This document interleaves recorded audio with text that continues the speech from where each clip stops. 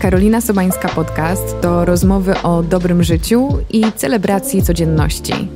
W tym programie pokazujemy różne perspektywy, otwieramy się na nowe tematy i zadajemy trudne pytania, na które odpowiedź często brzmi: to zależy. Jeśli szukacie codziennych inspiracji, zapraszam Was do mojego nowego podcastu Myśl na dziś. To kilkuminutowe wypowiedzi ekspertów, które pomogą Wam lepiej zacząć dzień. Myśl na dziś czeka na Was od wtorku do piątku na wszystkich platformach streamingowych. Odcinek 274. Świat wellness oszalał na punkcie saunowania i kąpieli w lodzie. Mówiłam o tym zresztą w trendach 2023 i zgodnie z zapowiedzią postanowiłam zgłębić temat. I choć są to pomysły stare jak świat, to właśnie przeżywają swoją globalną i zarazem komercyjną popularność. I jak to bywa ze wszystkim, co nowe, kuszące i trendowe, postanowiłam zrobić krok w tył i powiedzieć: sprawdzam. Zaprosiłam do siebie ekspertkę biohackingu i medycyny funkcjonalnej, osteopatkę Karo Domarańczyk, aby przygotowała nas na testowanie saun i terapii zimnem. Porozmawiamy o tym, jakie korzyści płyną z wystawiania ciała na bardzo wysokie i niskie temperatury, czy aby na pewno są to rozwiązania dla każdego, jak mądrze z nich korzystać w zależności od naszego stanu zdrowia, aktywności fizycznej i przede wszystkim celu stosowania takich zabiegów. Dzisiaj zapraszam Was po bazę wiedzy o hot and cold therapy.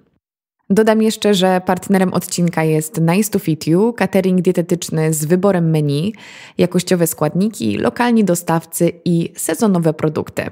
W ofercie znajdziecie różne diety, w tym wegańską i wegetariańską, a korzystając z wygodnej aplikacji wybierzecie menu na podstawie zdjęć i ocen oraz macie możliwość dokonania samodzielnie wszystkich zmian w posiłkach i dostawie.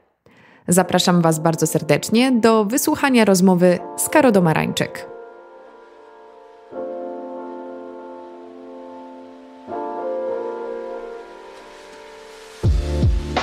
Cześć Karo, dobrze Cię widzieć po raz kolejny. Cześć Karo, Ciebie zawsze dobrze widzieć. Policzyłam sobie, że po raz pierwszy spotkałyśmy się ponad półtora roku temu.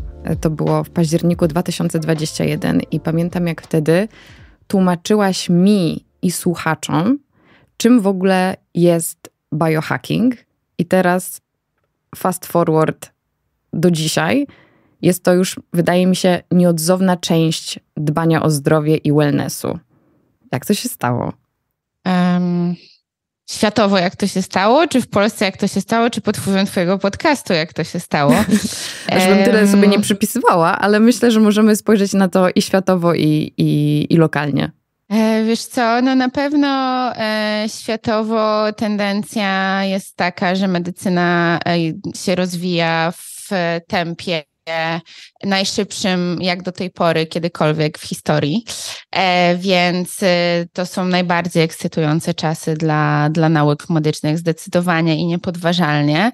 E, ilość badań klinicznych przeprowadzonych i właśnie jeśli mówi, mówimy, wiesz, o tym ostatnim półtora roku, kiedy od naszej pierwszej rozmowy, no to zwróćmy uwagę, że to jest ten czas po pandemii, który jeszcze E, ta pandemia no, była takim nadaniem już bardzo intensywnego momentum do, do rozwoju, e, więc, e, więc te ostatnie dwa lata w naukach medycznych, no i co za tym idzie, szeroko pojętym wellnessie, tak, są, są bardzo intensywne i z jednej strony oczywiście możemy patrzeć właśnie na te duże rzeczy, czyli znajdowanie rozwiązań na poważne choroby typu, typu malaria, typu nowotwory tak dalej.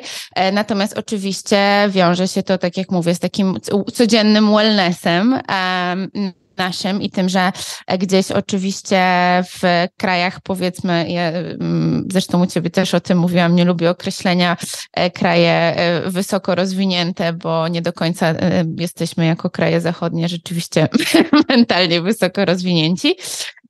Natomiast rzeczywiście od strony nauki jak najbardziej w tych krajach gdzieś w określonych społecznościach wzrasta ta świadomość dbania o zdrowie od strony też e, prewencji i profilaktyki i w ogóle cały też rozwój medycyny prewencyjnej, um, która nie jest do końca tym samym, co profilaktyka sensu stricte, um, troszkę bardziej zaawansowana od strony przeprowadzonych badań i tak dalej. E, natomiast jednak ta, ta prewencja i profilaktyka są, mówię, mocno, mocno rozwinięte. Um, i, no i przekłada się to, przekłada się to na, na różnego rodzaju rodzaju metody, tak? I później wydaje mi się, że właśnie patrząc bardziej regionalnie albo już lokalnie, e, to, to każdy z nas, e, czy właśnie ty swoim, swoim podcastem i mówieniem o tym, e, czy w ogóle właśnie dostęp, wiesz, czy, czy do podcastów, czy do osób, które się zajmują w ogóle szeroko pojętym biohackingiem, wellnessem, długowiecznością, tak, czyli wszystkim tym, czym, czym ja się zajmuję właśnie w pracy z, z pacjentami,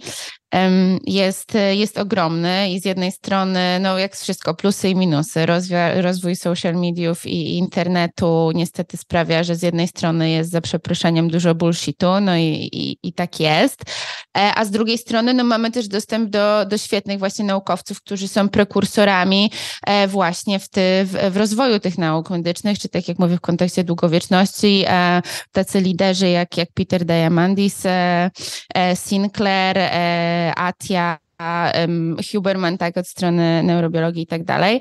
Więc fajnie, że dostęp do tej wiedzy jest e, i wydaje mi się, że na polu lokalnym no, musimy troszkę e, przesiać jedynie to pod kątem personalizacji e, i właśnie Mm, to, to czym, czym ja się zajmuję i też e, o czym dużo mówię i o czym też z Tobą rozmawiałam nieraz, czyli właśnie medycyna spersonalizowana, czyli tak naprawdę, czy wszystkie te metody, które są popularne, nam e, będą służyć każdemu tak samo? No odpowiedź jest, że nie, bo tyle ile osób, tyle będzie potrzeb. To bardzo rozległa odpowiedź na Twoje tak. pytanie. Ale, ale super, że o tym mówisz, właśnie o tej personalizacji, bo ja też Jestem bardzo szczęśliwa, że ten dostęp do wiedzy jest y, bardzo szeroki i coraz więcej się o tym mówi, ale na fali tych przeróżnych trendów my często wyłapujemy sobie jakieś skrawki, jakieś hasła, próbujemy to zaadaptować nieco bezrefleksyjnie, no i skutki bywają różne, jednak korzystając z tych wszystkich metod, warto najpierw się przygotować i sobie to mocno przefiltrować przez siebie.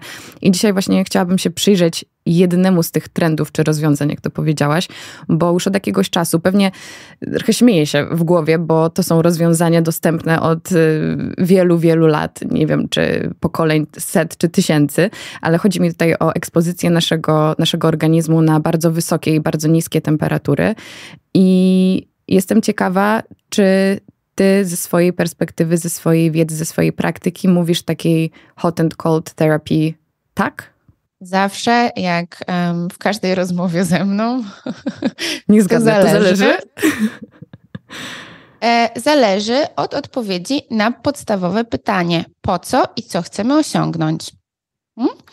E, więc generalnie tak, generalnie tak. Jest to um, ekspozycja na zimno i na ciepło, no to są metody, jak wspomniałaś, znane od właściwie początku istnienia ludzkości, um, zwłaszcza um, w jakichś konkretnych ekspozycjach na zimno. Um, oczywiście też rozwój um, technologii, no tutaj to nie jest aż taka, taki rozwój technologii w tym przypadku, w przypadku Sauen chociażby, no ale gdzieś tam troszkę może później um, doszła ta intensywna ekspozycja na, na ciepło, no ale to są metody, które są używane od, od setek tysię, od tysięcy lat. E, w krajach e, wielu są takich, no, Skandynawia chociażby, tak, są częścią po prostu e, bytu, kultury, e, codziennej higieny, właśnie tego dbania o zdrowie, profi, profilaktyki, no na równi z dbaniem o, o sen, czy, czy dbaniem o higienę jamy ustnej. Więc ja mówię tak, jak najbardziej. Jak wiemy, lek od trucizny różni tylko tylko i wyłącznie dawka. E, I dawka, która uwzględnia e, w tym przypadku wysokość danej temperatury, długość też ekspozycji e, jednorazowej, ale też, tak jak w przypadku każdego leku, długotrwałość tej ekspozycji w przeciągu, przeciągu czasu od strony, czy to są tygodnie, czy to są miesiące, więc mówię, wszystko zależy po co i co, co chcemy osiągnąć. A to jest też niesamowite, że zwykle, kiedy mamy do czynienia z różnymi praktykami, które są w naszej kulturze od dawna, czy w innych kulturach od dawna. My dopiero potrzebujemy tego momentu, kiedy nauka nadrobi, przygotuje wystarczająco dużo badań i wtedy reszta świata mówi, no dobra, no to bierzemy dla siebie.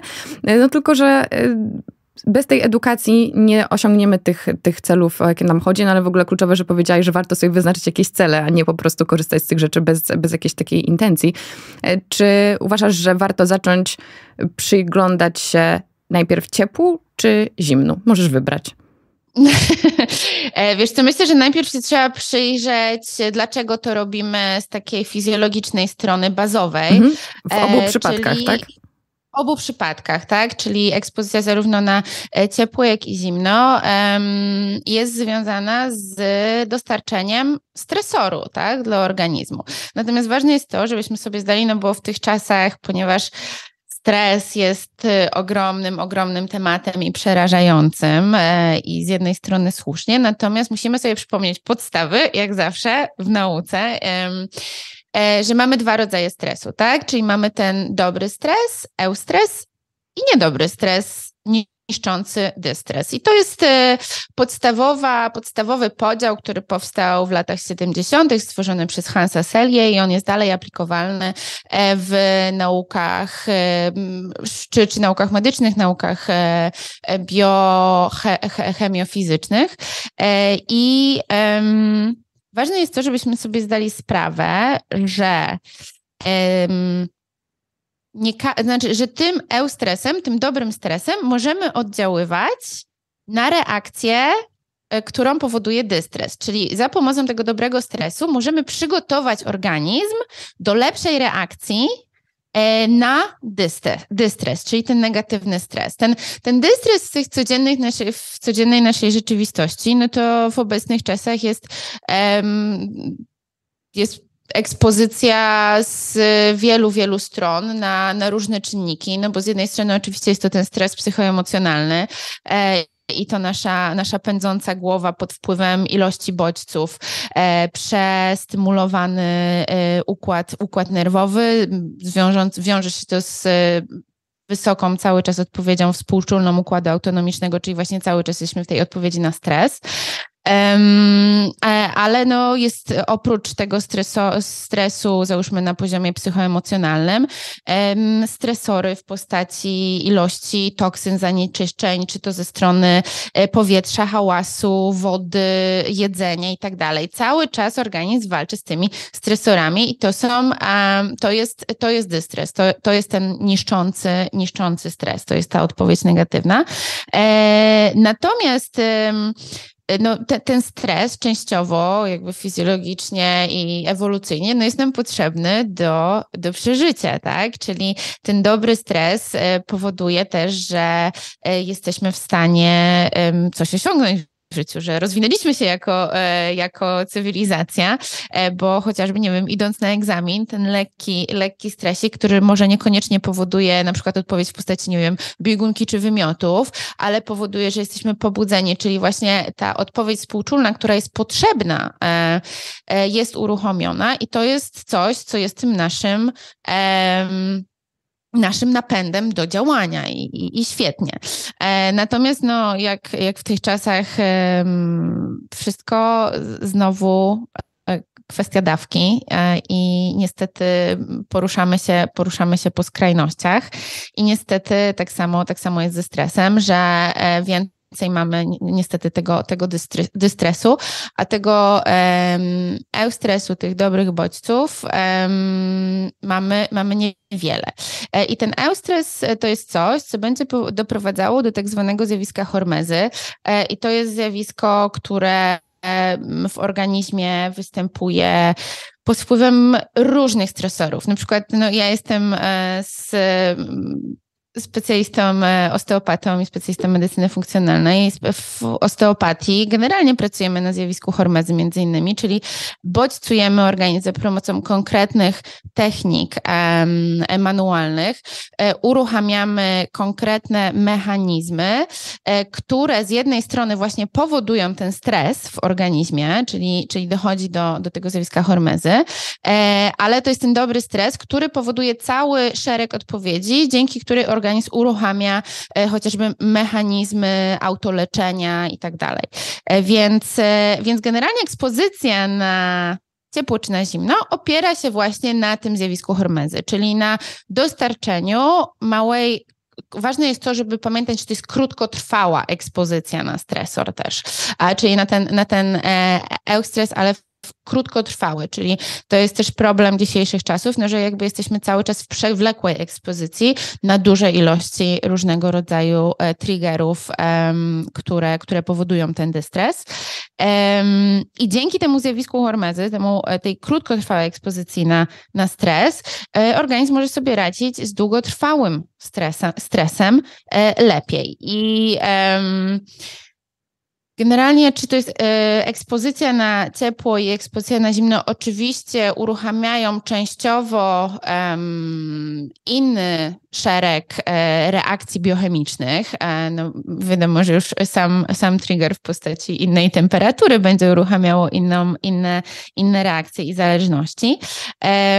natomiast, natomiast chodzi właśnie o to, że długoterminowo one oba będą działały um, będą trochę nas y, obudowywały, będą nam budowały zasoby do tego, żeby sobie z tym długotrwałym stresem radzić lepiej.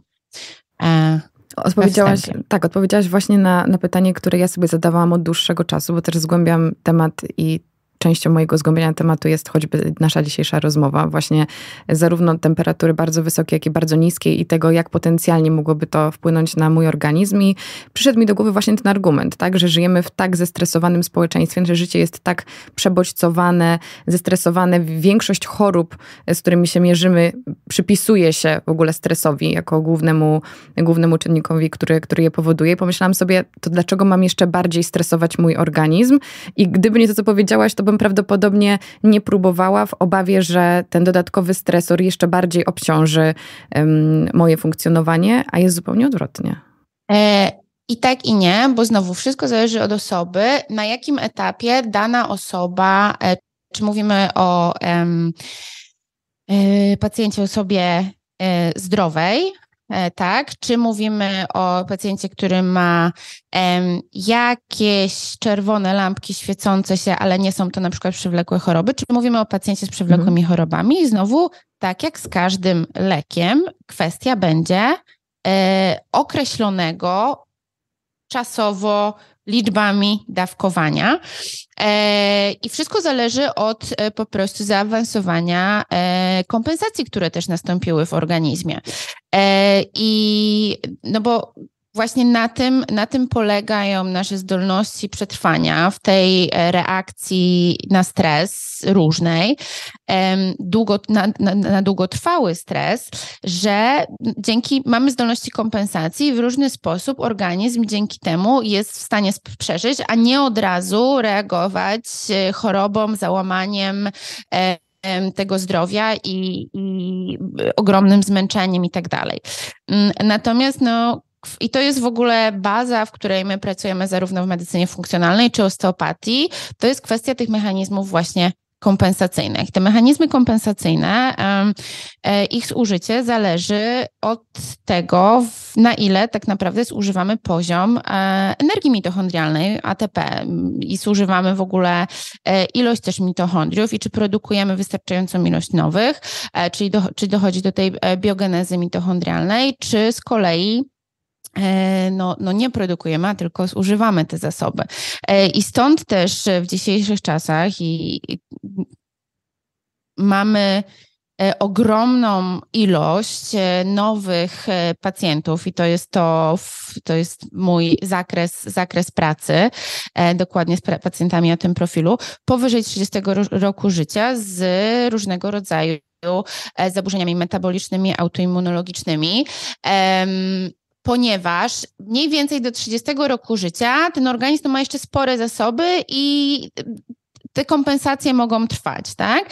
A plus minus około 30 roku życia niestety jeśli e, te zasoby cały czas były zużywane, te kompensacje były wysokie, no to zaczyna się ten, e, to akwarium nam przelewać, tak? I, e, I organizm po prostu zaczyna zapalać e, z różnych stron te, te czerwone lampki, więc stąd jest znowu kwestia, jak zawsze, indywidualna, tak? Czy stosujemy dane metody u pacjenta raz w jakim wieku, bo inne będą możliwości reakcji, czy od strony stanu zapalnego u pacjenta 20-letniego, kobiety 35, czy w kobiety w okresie okresie perinopauzalnym, e, czy e, u pacjenta 60 plus, tak? E, więc na to musimy zawsze zwrócić uwagę. Natomiast nawet oczywiście w kontekście tutaj naszego tematu ekspozycji na ciepło czy na zimno, też e, są badania, które wykazują, że nawet przy wielu zaawansowanych kompensacjach, czyli wtedy, kiedy już są te przewlekłe choroby, jednak właściwie dawkowana pod opieką lekarza, bo pamiętajmy, że tutaj będziemy mówić o różnych zastosowaniach, ale cały czas podkreślam, że jeśli ktoś chce podjąć tą metodę ekspozycji na ciepło i na zimno, powinien się skonsultować ze specjalistą, który go zna. Trzeba popatrzeć na wyniki badań, na stan zdrowia i tak dalej. Więc będziemy, będziemy patrzeć na, e, na różnego rodzaju um, czynniki u danej osoby, czy możemy podjąć w przewlekłym stanie, w przy, przypadku na przykład przewlekłych um, chorób um, układu sercowo-naczyniowego, e, czy w, w ogóle układu krążenia oddechowego, czy możemy podjąć właśnie metodę, która będzie wprowadzała ten krótkotrwały stresor, uruchamiała hormezę, czy nie. W wielu przypadkach jest tak, tak jak na przykład właśnie e, wspomniałam o tym zdrowiu e, systemie sercowo-naczyniowym, poza oczywiście ekstremalnymi przypadkami jakaś stenoza aorty, czy mm, stan świeżo po zawale, czy w ogóle stan świeżo po, po operacjach. Oczywiście są, są konkretne przeciwwskazania, ale jeśli to nie jest jest stan ostry organizmu, to nawet, mówię, kiedy ten, to akwarium się troszkę zaczęło przelewać, to nadal ta hormeza będzie w długotrwałym wymiarze działała korzystnie e, na danego pacjenta. Natomiast musi być to e, stosowane indywidualnie, tym bardziej u przewlekłych pacjentów. Inna jest sytuacja oczywiście u pacjentów zdrowych, a jeszcze inna na przykład u atletów, u sportowców, tak? No właśnie, bo jeśli chodzi o osoby chore przewlekle, czy w stanie ostrym, tak jak powiedziałaś, to totalnie rozumiem i mam nadzieję, rozumiem i mam nadzieję, że każdej osobie od razu nasuwa się pomysł pójścia do specjalisty, ale kiedy mówimy o osobach w cudzysłowie zdrowych, to my często nie zdajemy sobie do końca sprawy, jaki jest ten nasz stan zdrowia, i kiedy nie mamy żadnych konkretnie zdiagnozowanych chorób, uznajemy się za osoby, no właśnie, zdrowe, podążamy za jakimiś ogólnymi zaleceniami. No i pewnie tutaj też te skutki mogą być różne, więc zastanawiam się, czy dla osób e, właśnie bez jakiejś e, poważnej diagnozy istnieją jakiekolwiek zasady, wytyczne czy rekomendacje, jeśli chodzi o ekspozycję na, na ciepło i na zimno. Czy ty byś jednak zalecała, żeby w każdym przypadku mimo wszystko podjąć się badaniom i skonsultować z kimś, kto po prostu zna się na tym lepiej? Zawsze, niezależnie czy chcemy podjąć ekspozycję na ciepło czy na zimno, generalnie badamy się co 6 miesięcy i konsultujemy to z kompetentnym specjalistą, czyli nie takim, który nam powie, a e, w normie. wszystko jest w normie, bo coś jest, bo, bo jest w zakresach referencyjnych, a wiemy już w nowoczesnej, e, w nowoczesnej medycynie, no, że tak to nie działa i, i te zakresy funkcjonalne są, są inne. Więc no, to jest na pewno u takiej osoby zdrowej pierwsza, pierwsza kwestia, czyli żeby jednak sprawdzić, czy tam nie ma e, jakichś subklinicznych zmian, które, które są bardzo, bardzo subtelne, ale już, już są jakieś zmiany. I być może tak naprawdę ta ekspozycja na ciepło i zimno, ona je poprawi, tak? Natomiast, żeby zastosować jakąkolwiek metodę leczenia, no to zawsze no, świetnie jest zebrać dane. I w ogóle po to w medycynie robimy badania i właśnie cała medycyna prewencyjna opiera się na tym, że zbieramy właściwą ilość danych. I to, co w kontekście, wiesz, trochę zaczęłyśmy mówić, że teraz jakby no, no jest przede wszystkim moda, tak, na ekspozycję na ciepło czy na zimno, no a w ogóle ice bath, swim off, e, no to jest jakby chyba jeden z największych trendów obecnie. E, wiesz, gdzie nie jestem na świecie, no to, e, to po prostu wszyscy, wszyscy robią ice buffy. E, no i ważne, żeby jeszcze, wiesz, wrzucić to na, na Instagrama czy innego TikToka i, i, i generalnie jest to super i cool. Natomiast y, zawsze idźmy do podstaw, podstawy piramidy. Generalnie, jeśli ktoś nie dba na co dzień, nie ma wystarczającej zbilansowanej aktywności fizycznej, właściwie dobranej diety, nie ma właściwie zachowanej higieny snu, e, no to w tym momencie jakakolwiek ekspozycja na zimno ice buffy, czy, czy w drugą stronę tak samo sauna, no one e, raz nie poprawią tego zdrowia, a jeszcze dodatkowo, no niestety, jeśli ten organizm e, jest danego dnia osłabiony, to ta hormona może nie zadziałać w taki sposób. Dlatego na przykład nie chodzimy na saunę, kiedy jesteśmy właśnie w stanie ostrym, kiedy jesteśmy w stanie przeziębienia, tak, lub choroby w stanie ostrym.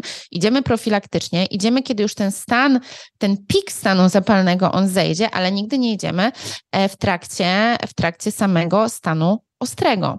E, I to jest to, co ja na przykład nawet w kontekście aktywności fizycznej zawsze mówię pacjentom, że no jeśli e, śpisz po 4 czy 5 godzin,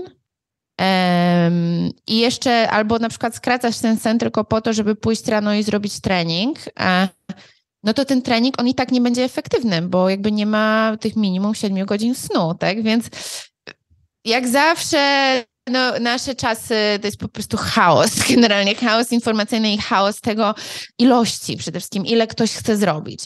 E, więc w ogóle w całym biohackingu i to jak ja e, transponuję ten biohacking, czy w, już, już w takiej nawet profilaktyce, tak, codziennej pacjentów, możemy dodawać te różne bardziej, wiesz, sophisticated, jakieś fajne, różne metody, jeśli mamy podstawy. Czyli jeśli mówię, mamy, mamy podstawy w postaci e, sn, oddechu, snu, nawodnienia, diety, aktywności fizycznej, e, właściwych relacji międzyludzkich. Ok, mamy zrobiony porządek na dole piramidy. Na to możemy dodać e, może jakieś e, bardziej suplementację, tak, dodatkową, e, czy możemy dodać jakieś bardziej skomplikowane metody, e, metody biohackingowe, jakieś technologie, tak, które właśnie na przykład czy związane z ekspozycją na światło, ekspozycję właśnie na ciepło czy zimno, E, I to dopiero ma sens, a nie jakby no, nie, nie wykpimy się ice buffem w momencie, jeśli generalnie nie ćwiczymy, nie mamy tej właściwej aktywności fizycznej. To jest tak jak wiesz, to jest tak jak właśnie chociażby ćwiczenia, jeśli chcemy zrzucić wagę, to okej, okay, no musimy ćwiczyć, ale one nie zastąpią diety i też odwrotnie, tak? To wszystko te wszystkie komponenty muszą być wzięte pod uwagę. Więc dla mnie to jest zawsze taka, wiesz, um, w dzisiejszych czasach i bardzo się cieszę, że o tym rozmawiamy, bo z jednej strony no to jest odcinek e, właśnie, wiesz, mógłbyśmy tutaj teraz się zatopić w ilość danych, badań odnośnie sauen, e, kąpieli zimna. Natomiast zróbmy, jakby zaznaczmy, że te podstawy są ważne e, i dopiero wtedy możemy, możemy komplikować to teraz wszyscy robią pauzę, idą się zaopiekować e, tą podstawą, o której powiedziałaś, i dopiero mogą wrócić, żeby słuchać nas dalej. Oczywiście śmieję się, bo też uważam, że ten faktor edukacyjny jest bardzo ważny i nawet jeżeli czujemy, że jeszcze nie jesteśmy gotowi na to, żeby dawać sobie tych bardziej wyszukanych czynników czy, czy metod, to ja uważam, że zawsze poznać je warto. Wywołać do tablicy Ice Baths, bo też widzę tą ogromną popularność i, i, mnóstwo osób, które wskakują z uśmiechem do, do lodu. U nas jest to może bardziej znane w Polsce w postaci morsowania, które też w ostatnich latach przeżywa y, ogromny hype. Więc dlaczego to jest dobry pomysł i jeśli to jest dobry pomysł, to jak go mądrze wykorzystać? Raz e, to, co wspomniałam, no zaczynamy od tego, że właśnie to jest ta ekspozycja na krótkotrwały, dobry stres. No i oczywiście cały szereg reakcji fizjologicznych pozytywnych, jeśli mówimy o osobie zdrowej, dla której, dla której te izbafy rzeczywiście mogą być, e, mogą być korzystne. Kwestia jest tego, czy co chcemy osiągnąć pod kątem, e, właśnie, co chcemy osiągnąć. Czyli jeśli e, na przykład od strony dużo osób e, idzie w stronę, w stronę jakiejś tam ekspozycji, czy, czy to są ice buffy, morsowanie, cokolwiek, ze względu na zdrowie, zdrowie psychiczne, co jest super. Tak, no bo rzeczywiście, no w ogóle ilość badań obecnie pod kątem sauen i E, i ice bathów i różnego rodzaju ekspozycji na zimno jest ogromna, naprawdę ogromna. Oczywiście trzeba jak zawsze przesiać te badania, e, ale no, załóżmy, że, że faktycznie mm, te benefity dla przede wszystkim wyzwalana jest dużej ilości norepinefryna, tak, która jest zarówno i hormonem, i neuroprzekaźnikiem, więc powodującym cały szereg tych pozytywnych reakcji dla naszego samopoczucia, dla, naszego, dla naszych emocji. E, więc, e, więc rzeczywiście w szereg badań pokazało benefity w walce z depresją e, czy obniżonym nastrojem. Oczywiście, jak zawsze, diagnoza, diagnoza, diagnoza, czym w pierwszej kolejności ten obniżony nastrój jest spowodowany, bo oczywiście są zaburzenia neuroprzekaźnikowe, ale czy one są związane z zaburzeniami um, hormonów tarczycy, czy są związane związane z zaburzeniami mikrobiomu jelitowego, czy no jakby jest szereg, szereg oczywiście diagnostyki, która za tym stoi. Natomiast tak jak mówię, u osoby zdrowej e, będzie ten dodatkowy boost e, w, podnosi też poziom chociażby hormonu wzrostu, tak, produkcji hormonu wzrostu, która z jednej strony oczywiście hormon wzrostu jest super ważny mm, od strony tkankowej, ale też super ważny od strony właśnie naszego, naszego nastroju i, i reakcji układu dopaminowy energicznego, więc świetnie. E, kolejnym e, takim, e, taką motywacją bardzo dużą, którą obserwuję gdzieś tam dookoła, czy tak jak pytają mnie pacjenci, no to jest kwestia samego, kwestia około treningowa i regeneracji, tak, po treningu. I pamiętajmy, że tutaj musimy rozdzielić sportowców od normalnych ludzi. I teraz sportowców w zależności od profilu sportu, który uprawiają.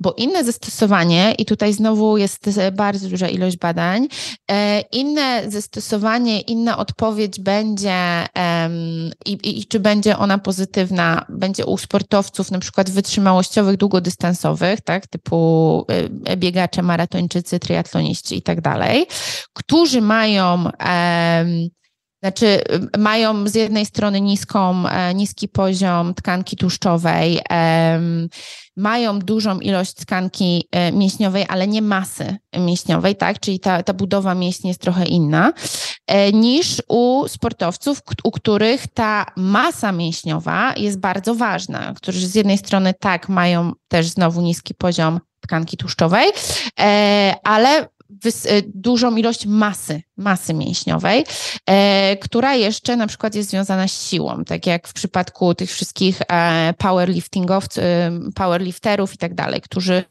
którzy budują masę. No i okazało się, że na przykład u, u tych wytrzymałościowców rzeczywiście, ponieważ ponieważ ice buffy obniżają poziom stanu zapalnego, no to świetnie pomagają w szybszej e, regeneracji.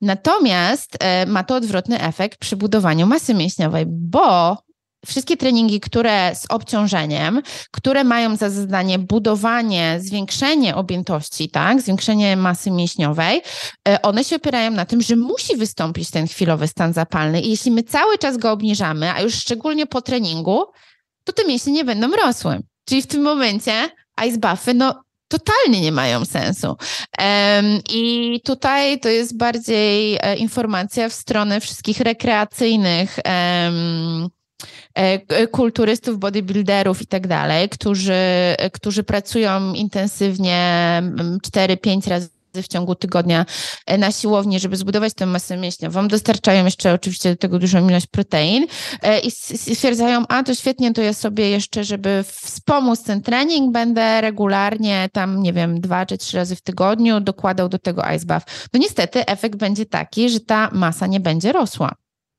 A więc znowu pytanie, co chcemy osiągnąć. Kwestia jest tego, jak już trochę zaczęłam mówić o tkance tłuszczowej, no to to jest w ogóle bardzo ważny aspekt ekspozycji na, na zimno. E, że ta długotrwała ekspozycja, regularna ekspozycja na zimno zwiększa ilość e, tak zwanej brązowej tkanki tłuszczowej. Mamy trzy rodzaje tkanki tłuszczowej, mamy białą, brązową i beżową. E, I generalnie no, dorosły człowiek ma najwięcej tej, tej białej.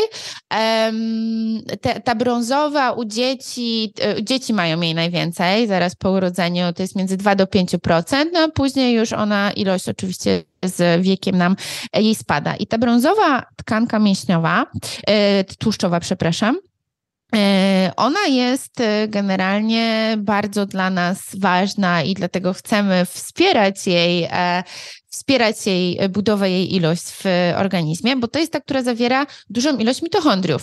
Czyli znowu wracamy do podstaw, zawsze wracamy mm -hmm. do mitochondriów. W dzisiejszej medycynie zawsze wracamy do mitochondriów. I stąd ona ma w ogóle też się nazywa brązową, bo ma kolor brązowy ze względu na to, że mitochondria generalnie, ze względu na wysoką ilość żelaza, E, mają kolor brązowy. Więc to jest ta tkanka, która jest naładowana mitochondriami i w związku z tym ona będzie wspomagała, wspomagała będzie gospodarkę glukozowo-insulinową chociażby e, i znowu mówię cały szereg takich pozytywnych, e, pozytywnych benefitów dla, dla w ogóle gospodarki odpowiedzi metabolicznej.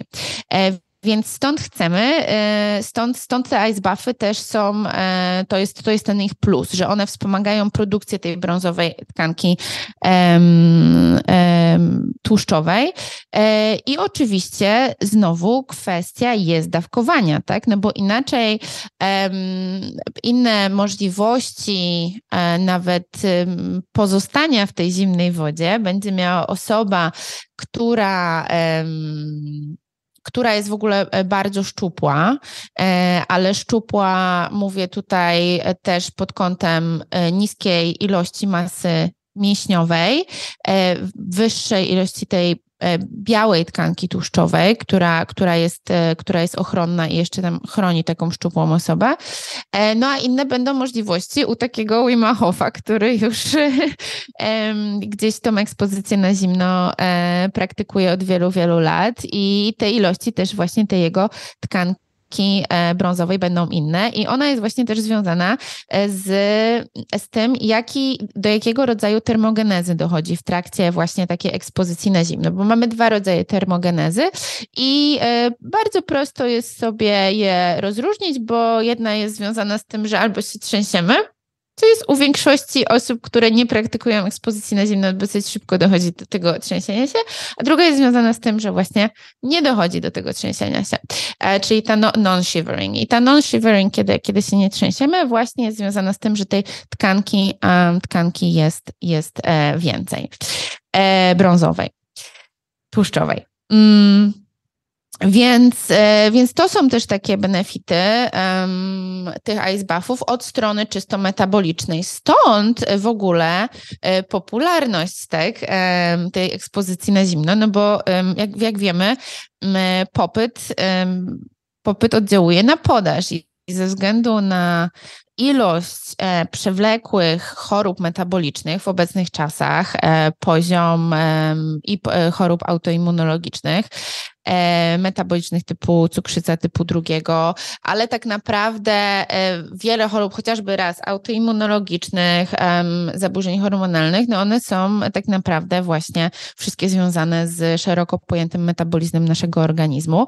No i niestety, tak jak powiedziałam, już e, w naszych czasach w tych krajach zachodnich osoby 30 plus, no i to są generalnie nawet patrząc na przekrój profil moich pacjentów, bo to jest dokładnie to, czym ja się zajmuję, e, czyli osób mniej więcej między 30 a 50 rokiem życia z tymi zaburzeniami metabolicznymi, no jest ogromna, tak? Zresztą liczby e, też mówią, mówią same ze siebie obecnie, że na przykład w w przypadku chorób autoimmunologicznych, tutaj w Stanach Zjednoczonych, które też liczbowo pamiętajmy i w ogóle ja się zaraz też odnoszę do Stanów Zjednoczonych pod kątem właśnie tego łykania tych trendów, no to na przykład w Stanach Zjednoczonych ilość osób, które mają, cierpią na różnego rodzaju choroby, zaburzenia autoimmunologiczne, e, odpowiada liczbie połączonej osób, które cierpią na choroby sercowo-naczyniowe i e, sercowo-naczyniowe i nowotwory razem wzięte, tak? Więc no, jest ogromna. A w właśnie, więc to jest jeszcze też kwestia, już tutaj zahaczając tylko o, o te trendy i Stany Zjednoczone, że właśnie ogromna ilość tych trendów przychodzi ze Stanów Zjednoczonych. E, no bo to jest w tym momencie kolebka rzeczywiście e, rozwoju tej nowoczesnej medycyny, biohackingu, właśnie medycyny funkcjonalnej, tak? Zresztą no ja e, swoje studia z medycyny funkcjonalnej robię w Instytucie Amerykańskim, tak? Bo Europa z jednej strony też ma oczywiście oczywiście ma jakieś tam zaplecze, czy e, od strony rozwoju mikrobiologii, czy medycyny mitochondrialnej, natomiast rzeczywiście w Stanach po prostu też są na to e, duże, duże granty, żeby, czy, czy, czy prywatne też fundusze, no bo w przypadku badań wszelkiego rodzaju szeroko pojętą długo, długowiecznością, to są głównie prywatne fundusze, które, które są pakowane rzeczywiście w, w instytuty w laboratoria w Stanach Zjednoczonych. No, Harvard ma ogromny e, instytut antyagingowy, gdzie pracują nad długowiecznością, plus oczywiście ten zastrzyk właśnie z, z, Bliskiego Wschodu pod kątem e, pracy nad badaniami nad długowiecznością.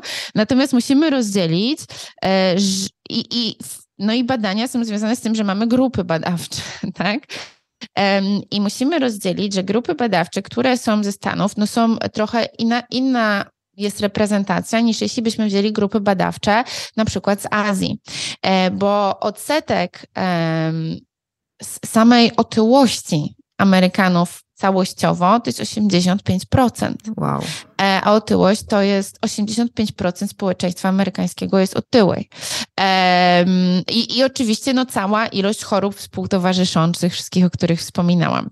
E, więc e, też ta ilość właśnie no, główna wiedzy, czy na Instagramie, czy tych podcastów, które, które my słuchamy, jest ze Stanów Zjednoczonych. Więc oni trochę musimy to zawsze przesiać no, przez, przez własne sito, tak? Więc um, ilość chociażby um, to, co bardzo się dużo mówi i dużo teraz e, czy naukowcy, czy specjaliści medycyny Stanów Zjednoczonych walczą o um, o to, żeby nie było aż tak dużej ekspozycji na, na wszelkiego rodzaju toksyny w, życiu codziennym, czy w wodzie, czy, e, czy w jedzeniu. No, Oczywiście Europa, e, czy, czy właśnie Bliski Wschód, czy Azja, no też mamy tą ekspozycję na toksyny, ale ona jednak jest niższa nadal niż w Stanach Zjednoczonych. Ilość używanych pestycydów do produkcji, do produkcji warzyw czy owoców, no ta marchewka w Stanach, w jakimś Teksasie czy Arizonie jest inna od marchewki w Danii, gdzie Dania ma 100% e, organicznych upraw, tak? Więc na to też musimy zwrócić uwagę i pod tym kątem przesiewać trendy, że kto jest tak naprawdę, na podstawie jakich grup badawczych um, mówią do nas ci naukowcy. Um, a wracając do do czego? Do ciepła i zimna. To o czym mówiłyśmy, bo ja chyba odpłynęłam. Tak, tak. Nie, odpłynęłaś, ale w bardzo, bardzo ważnym, myślę, kierunku, żeby brać to wszystko nieco z przymrużeniem oka i też może niekoniecznie chwytać się wszystkiego, co przyszło ze Stanów, podczas gdy mamy tego bardzo dobry odpowiednik albo jakąś alternatywę u nas, albo wcale nie trzeba niczego zmieniać, bo ten stan jest o wiele łagodniejszy. Myślę, że to jest super istotne, bo sama mam tendencję do tego, żeby podpatrywać, co się dzieje. Zapominam nieraz wziąć pewien dystans i przypomnieć sobie, że jednak żyjemy w innych, nieco innych okolicznościach i też mój stan zdrowia na pewno odbiega od tej wspomnianej przez ciebie grupy badawczej przeciętnego Amerykanina, więc to jest uważam bardzo ważny punkt, ale też pięknie ujęłaś to, że są e, sportowcy i są normalni ludzie, więc wierzę, że jednak znaczną grupą, e, większą grupą słuchaczy u nas są ci normalni ludzie. I, i właśnie wracając jeszcze do, tych, do tego zimna, e, o którym rozmawiamy w tej części. Czy w takim razie dla normalnych ludzi y, istnieje coś takiego jak optymalne stosowanie profilaktyczne, y, taki plan minimum, który, który daje nam te efekty, o których mówiłaś, to po pierwsze, wiadomo, że nie dla każdego i, i to zależy, y, ale jak można z tego mądrze skorzystać, żeby stestować taką metodę? No i jak ważna w tym jest też wspomniana przez Ciebie regularność? Mhm. E, na pewno warto, jak ze wszystkim, zaczynać stopniowo. E, oczywiście ekspozycja na zimno pod prysznicem to jest inna ekspozycja niż kiedy się zanurzamy do szyi w zimnej wodzie, tak? Czy to jest jezioro, czy to jest jakaś tam bania z zimną wodą. E, więc można zacząć od takiej krótkotrwałej ekspozycji właśnie pod prysznicem, jakby podstawowa i stosowana też w ogóle od lat, wiesz, w, balneologii, tak, metoda, no to są, to jest zakończenie po prostu ciepłego prysznicu krótką ekspozycją na, na, na zimno, tak? Dosłownie może być, to, może być to minuta zimnego prysznica i powoli dostosowywanie tego organizmu. Musimy zwrócić uwagę zawsze na, też na porę roku, tak? Wiadomo, że będzie nam e, łatwiej to zrobić latem, kiedy w ogóle mamy ochotę na ten zimny prysznic, aniżeli, aniżeli zimą. E, oczywiście też jeśli mamy właśnie tendencję do wychłodzenia organizmu, czy tak jak na przykład osoby z chociażby niedoczynnością tarczycy, tak, e, nie tolerują za dobrze zimna, e, to może też niekoniecznie od razu się rzucać na głęboką wodę, bo z jednej strony... Zimną tak, głęboką wodę zimną, głęboką wodę. Może rzeczywiście e, długoterminowo, na przykład w przypadku niedoczynności, e, będzie mogło to działać korzystnie, ale najpierw, e, najpierw może jakby obserwujmy swój organizm, tak? Obserwujmy swój organizm. Jaka, jaka jest reakcja? Czy um, i zacząć na przykład od e, takiej ekspozycji na zimno raz w tygodniu, tak? Jakiegoś morsowania czy ice buffu i zacząć od dwóch minut, tak? Od, nie od razu musimy tam zaciskać zęby, bo jeszcze jak ktoś jest właśnie ma na przykład wrodzonego sportowca w sobie, tak jak ja, ja to zaciska zęby mm -hmm. i wiesz, i, i, idzie od razu na 6 czy na 8 minut ice buffu, e, ale te dwie minuty wystarczą, jakby w organizmie to nie, nie zawsze działa tak, oczywiście no hormeza działa na tej zasadzie, ale e, też, że, że więcej to znaczy lepiej. I e, to, to, to, wcale, wcale tak nie jest, więc stopniowo obserwując swój organizm, jeśli wiemy, że nasz organizm reaguje w ogóle dobrze na różne ekstrema, e, co też jest związane właśnie z naszą naturalną odpowiedzią od strony adrenaliny, noradrenaliny, właśnie gospodarki dopaminergicznej, także jest to bardzo indywidualne, to może faktycznie, jeśli będziemy siedzieć w tej wodzie, będziemy czuli, że nam jest zimno um, przez trzy minuty, ale czujemy, że e,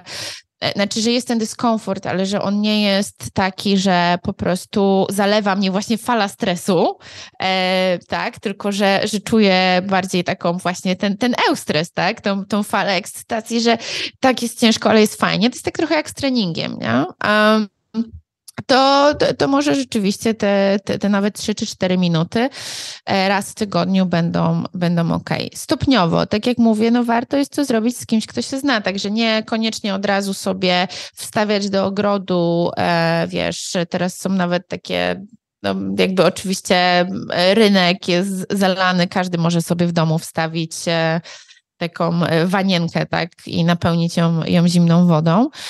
Um, więc, więc stopniowo, stopniowo raz w tygodniu um, później zwiększać. No i mówię, też zależy od, od kwestii związanej z aktywnością fizyczną, więc ja na to bym zwróciła uwagę.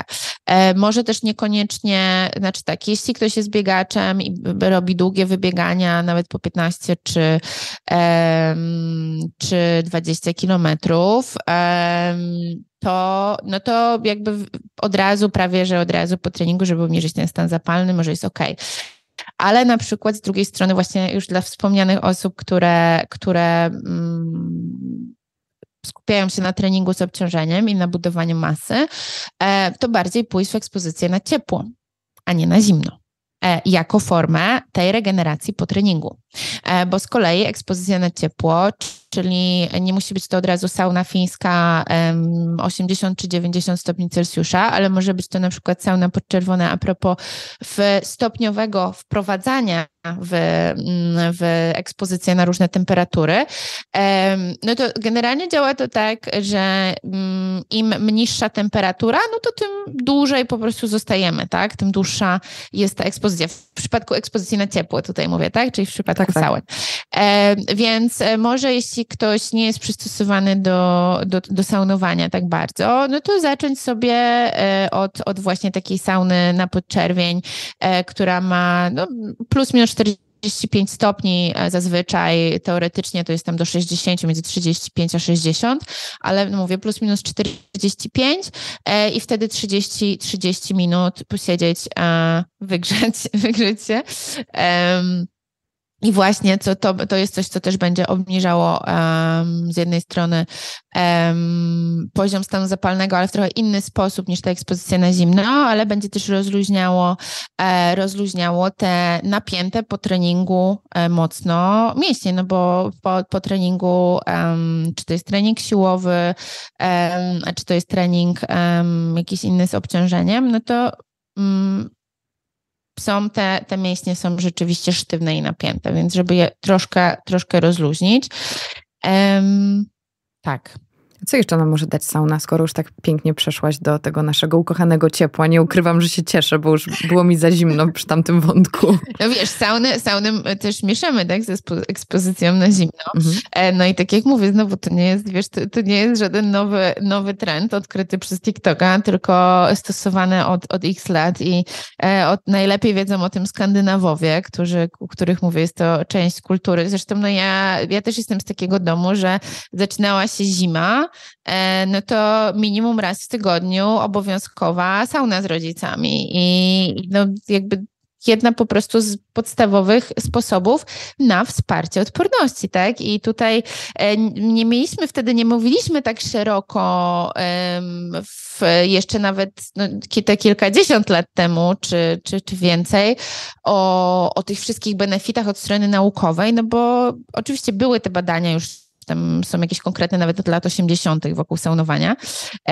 ale no na taką po prostu e, ludzką e, logikę i, i tego, że, że ludzie widzieli te benefity od dawna, wsparcia właśnie odporności, bo rzeczywiście saunowanie, ta ekspozycja na wysokie temperatury no, ma szereg benefitów, ale między innymi jest to, że jest inna odpowiedź od strony limfocytów, interferonu i tak dalej i, i po prostu podnosi nam to, podnosi nam to wydajność układu immunologicznego, więc, więc to na pewno.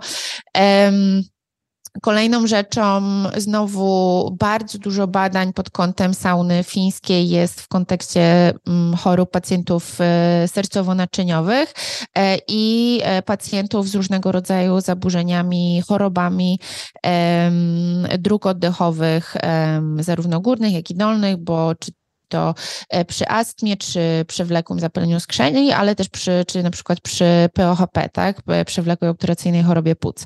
E, więc bardzo duża ilość benefitów e, u takich, u takich pacjentów przy saunowaniu minimum nawet 3, minimum 3, a nawet są badania, które pokazywały saunowanie 4 do 6 razy w tygodniu po, po 10 do 20 minut, no jakby tutaj ilość tych badań to byśmy mogły, wiesz, same dwie godziny poświęcić na prześledzenie tych wszystkich, wszystkich liczb, ale rzeczywiście, rzeczywiście benefity dla, dla, dla tych pacjentów przy zaburzeniach e, oddechu e, czy szeroko pojętego układu, układu krążenia.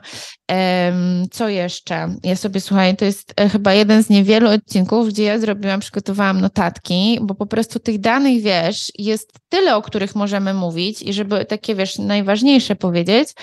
Um, no, sauna, tak jak powiedziałam, a ważne jest to też, że pod kątem wsparcia odporności, no to z jednej strony, tak jak mówię, no to jest kwestia już samych parametrów krwi, odpowiedzi, czy ze strony śledzionej i tak dalej, ale też musimy zwrócić uwagę, że temperatura i związana z nią wilgotność, one będą wpływały na odpowiedź ze strony patogenów. E, czyli e, wirusy na przykład, one mają e, mniejszą przeżywalność w klimacie w wysokiej wilgotności, aniżeli w suchej. Dlatego zimą częściej też chorujemy, między innymi od, od, tej strony, że te wirusy są bardziej aktywne. Zresztą widzieliśmy też to po COVID-zie, tak? Były tam w mhm. trakcie pandemii, to ja pamiętam akurat te statystyki dosyć mocno e, śledziłam, że e, w tych krajach, w, w krajach gorących i, i o wyższej wyższej wilgotności, e, rzeczywiście e, odpowiedź, zachorowalność była, była niższa. Zresztą no, i, i to, ma, to jest właśnie związane z tą, z tą odpowiedzią e, patogenów i tak samo od, od strony bakterii. One inaczej reagują na wysokie temperatury aniżeli na niskie tak? E, więc e, to jest ważne, no bo musimy sobie przypomnieć tylko, że sauna e, ta, o której w Polsce mówimy sucha, nie wiem dlaczego, bo to nie jest sauna mhm. sucha finalnie, bo ona jest wilgotna, sauna fińska. oczywiście nie jest to, on nie ma takiego procentu wilgotności jak steam, a tak, jak sauna parowa, ale no nawet do 40% wilgotności jest, tak? Jeszcze jak dolewamy tej wody na kamieniach i właśnie robimy to po to, żeby wesprzeć te procesy odpowiedzi organizacji organizmu e, od strony między innymi wsparcia śluzówki chociażby, e, dlatego u pacjentów z różnymi zaburzeniami oddechowymi ta sauna, sauna fińska jest, e, przynosi benefity, ponieważ ta dodatkowa wilgotność, raz, że ten um, w cudzysłowie niedobry śluz e, nam pomaga, pomaga oczyścić z tego śluzu, a jednocześnie wspomaga regenerację śluzówki w górnych drogach oddechowych, tak? Więc dlatego będzie, e, będzie korzystna e, sauna. Natomiast, tak jak mówię, dobrym rozwiązaniem i teraz znowu bardzo popularnym w świecie biohackingu są też sauny podczerwone, bo jest to też łatwiejszy sposób do takiego domowego zastosowania i zakupienia kupienia sobie takiej sauny po prostu IR do mhm. domu, aniżeli no, sauna fińska to jest już większa inwestycja, um, więcej potrzebnej jest energii do jej ogrzania i tak dalej, a taka sauna na podczerwień są po prostu gotowe e, kabiny e, dwuosobowe, które można sobie wstawić i korzystać codziennie nawet e, po około, no mówią 30 minut, ale tak naprawdę 40 minut spokojnie e, i, i wtedy no tam się z jednej strony oczywiście się pocimy, no bo też chodzi o to, że ta ekspozycja na ciepło, wysokie temperatury wspomaga mocno detoksykację organizmu, e, więc e, wiadomo, pocimy się i dzięki temu no, oczyszczamy się z tych e, ubocznych produktów metabolitu niekorzystnych. E, więc to jest też bardzo ważne. Ważne jest zawsze, pamiętajcie, cała higiena wokół saunowania, czyli to nie jest tak, że czy w, czy w przypadku sauny fińskiej, czy w przypadku sauny IR, e, jakie robimy przerwy pomiędzy sesjami, ile i jak pijemy, jaką wodę, żeby się faktycznie nawodnić, uzupełnić elektrolity, ale nie wypijać bardzo dużo tej wody w trakcie samych sesji. To, żeby po na przykład takiej saunie podczerwonej wziąć prysznic, żeby rzeczywiście te, e, to, co wydzieliliśmy przez skórę, się tego pozbyć, tak? Ja pamiętam jeszcze nawet na moich pierwszych studiach, e, no to ja miałam cały temat w ogóle balneologia, gdzie jakby cały jakby proces saunowania jest e, o, omówiony. Ale tak jak mówię, no in the end of the day ważne jest to, u kogo to stosujemy, bo, bo na przykład właśnie u pacjentów z chorobami sercowo-naczyniowymi, e, na przykład u mężczyzn powyżej 50 roku życia, z, e, czy ze zwiększonym ryzykiem chorób sercowo-naczyniowych, no możemy rzeczywiście, w ogóle bardzo duże grupy były badanych i dostosowanie, dostosowanie ekspozycji kilka razy w tygodniu, ale też pamiętajmy, że przez dłuższy okres czasu, że to nie jest tak, że pójdziemy sobie przez miesiąc, czyli cztery razy pójdziemy i, i już jakby te benefity i ta odpowiedź ze strony układu, um, układu odpornościowego i tak dalej będą takie ogromne. No nie, no potrzebna jest kilkumiesięczna, regularna ekspozycja i tak, tak samo tyczy się w przypadku e, ice buffów, no bo znowu, jeśli mówimy o prewencji i mówimy o profilaktyce, I jeśli chcemy osiągnąć długoterminowe efekty, to nic nie przychodzi. E, po jednym czy dwóch razach, tak? Czyli, że ktoś sobie, znaczy wiadomo, że fajnie będą te chwilowe, tak? E, czyli, e, no nie wiem, no właśnie, na przykład tak jak ja, tak? Mam teraz uszkodzony bark, no to fajnie na chwilę rzeczywiście wspomóc te, wspomóc te procesy, procesy zapalne, ale jeśli chcemy, patrzymy od strony profilaktycznej czy leczenia choroby, no to tak jak mówię, cały czas traktując to jako lek, konkretne, konkretne dawkowanie, tak? Tak jak jak z antybiotykiem. No nie, nie weźmiemy e, antybiotyku e, trzy razy i nie będziemy oczekiwać od niego, że zadziała, tylko potrzebna jest pełna dawka, która e, ma być uzupełniana przez 7 czy 14 dni. I tutaj jest dokładnie taka sama zasada, no tylko dawki są inne. Ale też fajne jest to, że w przypadku obu tych technik, i ciepła, i zimna, mamy pewne skutki instant, typu poprawa nastroju, jak i te długoterminowe, więc to nam daje cały szereg benefitów i jestem, ja już jestem bardzo gotowa, żeby, żeby testować, ale powiedz mi, bo jeszcze wspomniałaś, że sauny nam się kojarzą z zimą, czyli robi się zimno, e, zaczynamy regularnie wchodzić do sauny, tak jak ty praktykowałaś to od dziecka. Czy sauny mają zasadność jako praktyka całoroczna? Tak, jak najbardziej. E, no bo jednak nawet jeśli jesteśmy w ciepłym klimacie, no to nie mamy tej ekspozycji. Znaczy, znowu pamiętajmy, to jest mimo wszystko krótkotrwała ekspozycja na stresor, tak? Wychodząc od tego początku i tego, jak to ma zadziałać. Więc to jest krótkotrwała ekspozycja na intensywny stresor. Um, więc, e, więc jak najbardziej, nawet jeśli jesteśmy w ciepłym klimacie, czy jest lato, e, to, to ta regularna, regularne saunowanie nadal jak najbardziej ma sens, jeśli um, zakładamy, że chcemy wesprzeć na przykład um, czy, czy swoje zdrowie oddechowe, oddechowe, e, czy na przykład wydolność organizmu, bo też e, tutaj bardzo duże benefity są w przypadku e, połączenia sauny z E, połączenia saunowania z samym treningiem, wzrost, e, o, w ogóle wzrost BDNF-u, czyli tego czynnika notropowego, który jest bardzo ważny w kontekście długowieczności, no ale też właśnie naszego moodu ogólnego samopoczucia, więc, e, więc jak najbardziej to saunowanie wtedy, wtedy ma sens, tylko też takie takie regularne, mhm. tak? Przede wszystkim organizm, y, jeśli chcemy osiągnąć zdrowie długoterminowe albo oddziałać tak samo na przewlekły problem. Y, przewlekłe problemy, przewlekłe choroby, no nie możemy oczekiwać, że coś, na co pracowaliśmy przez 10 czy 20 lat, e, nagle zniknie w ciągu dwóch miesięcy albo nawet sześciu miesięcy. Tak? Organizm potrzebuje czasu.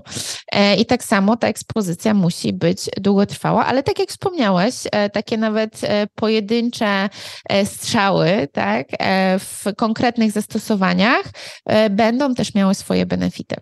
A powiedz mi, jak mądrze wykorzystać saunę? Mam na myśli jednorazową sesję, jeśli chodzi o to, czy nie wiem, kąpać się przed, y, ile tam siedzieć, czy wyjść na chwilę na przerwę, czy potem wrócić i potem powiedziałeś, żeby spłukać, ale jak wygląda tak w skrócie taka przeciętna, zdrowa sesja w saunie? Dla normalsa. W saunie fińskiej. Fińskiej, mhm, tak. W saunie fińskiej. E, generalnie pamiętamy, że wchodzimy do sauny, jeśli nawet weźmiemy wcześniej prysznic, no bo wiemy też, że po saunie jakiejkolwiek e, nie stosujemy żadnych środków myjących, tak, żeby no mamy te, te skóry, pory skóry bardziej otwarte, więc nie chcemy, że tam nic się dodatkowo dostawało e, żadnych balsamów i tak dalej, więc jeśli chcemy wziąć prysznic, bo na przykład jesteśmy po treningu, no to robimy to przed, e, przed sesją sauny i ważne jest to, żeby wytrzeć się naprawdę do sucha, czyli żeby nie było na nas, żebyśmy nie byli wilgotni. I to samo tyczy się też um, później, jak zmieniamy sesję i um, schładzamy się, zaraz do tego przejdę, e, ale też, żeby zmieniać na przykład ręcznik. E, czyli, że ten ręcznik, który jest wilgotny, bo po właśnie schłodzeniu się, którym się suszaliśmy, żeby nie wprowadzać go e, do sauny, bo z jednej strony tak, chcemy zwiększać na przykład polewając troszkę wilgotność, polewając kamienie wodą.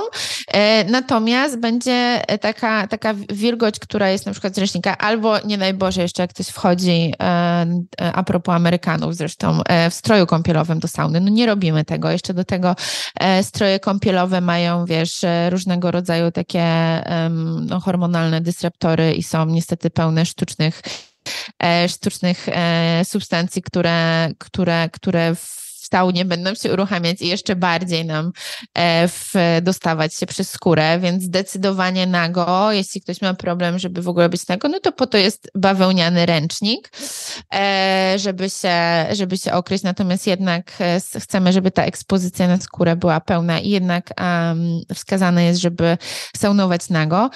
Śmieję się z tych Amerykanów, bo ja właśnie miałam kilka takich sytuacji z moimi znajomymi ze Stanów Zjednoczonych, którzy po prostu jakbyśmy w saunie wchodzili do nich w strojach kąpielowych, na co moja europejska dusza po prostu się wywracała na drugą stronę, więc jest to też ewidentnie bardzo kulturowo, kulturowo uwarunkowane. I, e, czyli wchodzimy nago, wytarci do sucha, czyści e, i w zależności od temperatury w saunie, no dostosowujemy e, ilość, ilość minut. No tak minimum te 6-7 minut e, na sesję u zdrowej osoby e, to, to, to jest minimum, a przy takiej temperaturze 80-85 stopni. Kwestia znowu jest, tak jak mówię, tej wydolności danej osoby, tak? Tego, jak jest w stanie oddychać, bo jeśli ktoś ma zaburzony wzorzec oddechowy i tutaj znowu jest kwestia tego, powrotu do podstaw, czyli jeśli nie masz prawidłowego oddechu, to nie będziesz mógł właściwie i z właściwego wzorca oddechowego korzystać czy z treningu, który podejmujesz, czy z saunowania. E, więc zawsze wszystko, e, wszystko, wszystko się sprowadza do podstaw. E, no więc te, te 6, ale nawet spokojnie 15, nawet 20 minut dla osób e, wprawionych e, w tych 80 powiedzmy stopniach. Jeśli ktoś robi, ja lubię taką intensywną 90, 95, 10-15 minut. I po takiej, po tej pierwszej serii wychodzimy, no i schładzamy się, tak? Tylko po, znowu inne będzie schłodzenie się pod prysznicem, który nie do tego może, nie, nie do końca będzie lodowaty, a inny, kiedy będzie to pełna kąpiel w zimnie, więc raczej idziemy w tą drugą stronę, żeby faktycznie schłodzić cały organizm i zostajemy w tym zimnie, aż faktycznie poczujemy, że zaczyna nam być zimno, tak? Czyli zaczyna, pojawia się ten e, dys, znaczy dyskomfort jest już na początku, jak wchodzimy z tego ciepła do zimna, ale nie, że o, zanurzyłam się i wychodzę, bo już mi jest niewygodnie. Nie, aż faktycznie poczujemy, że, że się schłodziliśmy, czyli zazwyczaj te, no pewnie nawet tam e, 4 do 5, 5 minut spokojnie możemy zostać. Znowu inna sytuacja, jeśli na przykład się chłodzimy w jakimś śniegu, tak? E, saunę, gdzie wychodzimy i, i, e, i się obrzucamy ze znajomym śniegiem, czy też właśnie pod wpływem tej temperatury zewnętrznej, no ale załóżmy, jeśli jesteśmy w takiej saunie, że mamy jakiś tam basen z zimną wodą czy balię. Odpoczynek pomiędzy seriami powinien być e, takiej samej długości jak dana sesja. Czyli jeśli weszliśmy na przykład na 15 minut do sauny, to 15 minut powinniśmy odpoczywać. W trakcie odpoczynku odpoczywamy, leżymy zdecydowanie, wytarci już do sucha. E, możemy popijać wodę, ale nie zalewać się, nie wypijać tam litra wody, tylko delikatne małe łyki, raczej nie zimna woda, tylko albo ciepła, albo chociaż w temperaturze e, pokojowej, ze szczyptem soli, żeby faktycznie były elektrolity, czyli żeby rzeczywiście uz zacząć uzupełniać minimalnie to, co, to, co przyszło, e, to, co, to, co straciliśmy. I znowu po tych 15 na 15 wchodzimy i no dwie, no mi, minimum dwie, ale jednak no te trzy serie e, to jest taki, to jest taki standard e, i powtarzamy to wszystko e, to wszystko kilkukrotnie. Czyli jeśli to uprościmy do tego, że ta seria ma 15 minut, odpoczynek 15 minut, robimy trzy razy, czyli takie półtorej godzinki z kawałkiem powinniśmy w takiej saunie spędzić. Pamiętamy, że po saunie, e, jak już wychodzimy, no oczywiście znowu, tak jak powiedziałam, nie używamy żadnych kremów, balsamów, mydeł, wybierz dowolne. E, ubieramy się ciepło, e, ale niekoniecznie jemy od razu. To też znowu tutaj nie będę wchodzić w temat, bo możemy długo na ten temat rozmawiać, ale generalnie nie jemy bezpośrednio po saunie, pomimo że często ten apetyt nam wzrasta. Warto jest odczekać chociaż te 45 minut e, do posiłku. Możemy wypić coś ciepłego. Tak jak mówię, ubrać się ciepło, żeby nie było ekspozycji na jakieś e, zewnętrzne patogeny wiatru. E, I, I tak. Czy robimy to zwykle rano, wieczorem, czy to nie ma znaczenia? Um, znowu, zależy, co chcemy osiągnąć. No, na przykład, jeśli taka sauna jest y, czymś po treningu, no, a trening robiliśmy rano, to robimy rano. E, wieczorem na pewno nas bardzo ładnie przygotuje mhm. do snu. To powiedz, więc, po, więc też fajnie. Powiedz nam, Karo, na koniec, y, jakie są benefity tego, że łączymy właśnie ciepło i zimno, czyli wchodzimy do sauny, a potem siadamy w takiej wannie z lodem. E, no znowu to jest, to jest właśnie ta e, hormeza, mhm. czyli w ogóle dochodzi do e, produkcji tych, jest odpowiedź ze strony tych heat shock proteins, czyli białek szoku cieplnego, po polsku, tak, białek szoku cieplnego. E, I po prostu cała ta kawalkada tych wszystkich rzeczy, mhm. o których mówiłyśmy wcześniej, tak, od strony, od strony reakcji e, czy neuroprzekaźnikowej, e, czy reakcji immunologicznej, po prostu zaczyna się, e, zaczyna się dziać i ma szansę się zadzieć. Jest tego dużo. Ja po tej rozmowie mam poczucie, że można spokojnie wypuścić przewodnik y, wielotomowy po, po zabawie z ciepłem i zimnem, ale bardzo doceniam to, jak nam pięknie to syntezowałaś, bo myślę, że zarówno ja, jak i słuchacze mamy teraz mniej więcej ogląd na to, jak podejść do tematu i jak mądrze przygotować się do korzystania. Myślę, że też dla siebie wyciągnęłam z tego, co powiedziałaś, to, że warto zacząć od tych zimnych prysznicy, przed którymi się bardzo, bardzo e, opieram, którym się opieram od dawna, bo słyszę o tych korzyściach, ale brzmi to bardzo nieciekawie. Teraz wiem, że spróbuję i no też ta, ta sauna podczerwona też e, pokazują mi się często w internecie osoby w takich nawet skafandrach jednoosobowych z, z właśnie z podczerwienią. Także ja jestem też chętna, żeby, żeby to eksplorować i po raz kolejny bardzo Tylko dodamy, szybciej, tak, tak. tylko ci właśnie a propos tego dodam, że to jest wiesz też od takiej mentalnej, bo mówisz, że E, że się wzbraniam przed tymi tak. zimnymi prysznicami, więc to jest taki, wiesz, ten pierwszy krok, e, jak, e, wiesz, kupienie karnetu na siłownię, nie? Że mam to pod ręką, więc mentalnie, a już zrobiłam ten pierwszy krok, zaczęłam coś zimnym prysznic. Tak, tak. Myślę sobie, że jeżeli ja to pokonam, to, to każdy może, bo ja zimna po prostu bardzo nie lubię i może się okazać, że to nie jest dla mnie, więc też zostawiam jakby tutaj otwarty temat. Niemniej, Karo, tak jak powiedziałam, dziękuję Ci za tę wiedzę, za to spotkanie po raz kolejny i mam nadzieję, że do, do następnego. Dziękuję Ci bardzo. Ja mam poczucie, że oczywiście, wiesz, jakby um, pokryłyśmy jakieś 5% mhm. tematu, bo dużo, dużo, dużo można mówić. Ja bym tylko chciała, wiesz, na koniec zaznaczyć, że, że spersonalizowane, że to też nie jest tak, że na przykład to jest rzeczywiście dla, dla wszystkich e, i od razu, i że jednak każdy powinien skonsultować, e, skonsultować ze specjalistą, swoim lekarzem, czy się nadaje na, e, na takie metody biohackingowe. Dzięki wielkie. Tak zrobimy. Mam nadzieję, że mogę mówić w imieniu wszystkich. Dzięki i do usłyszenia. Do usłyszenia. Dziękuję Wam bardzo za wysłuchanie tego odcinka i dziękuję Nice to Fit You za objęcie nad nim patronatu. To catering z największą ilością najważniejszych certyfikatów na rynku. Codziennie macie do wyboru ponad 60 dań i dodatków w menu. Wygodnie w aplikacji. Jeśli regularnie słuchasz mojego podcastu, będzie mi miło, gdy znajdziesz chwilę na wystawienie mu oceny. Zrób to w aplikacji, w której słuchasz mojego podcastu.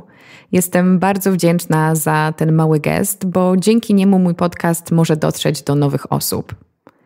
A jeśli masz ochotę na więcej, posłuchaj mojego nowego programu, czyli Myśl na Dziś, który również jest dostępny na Spotify, iTunes i YouTube. To kilkuminutowe wypowiedzi gości mojego podcastu, które pomogą Ci lepiej zacząć dzień.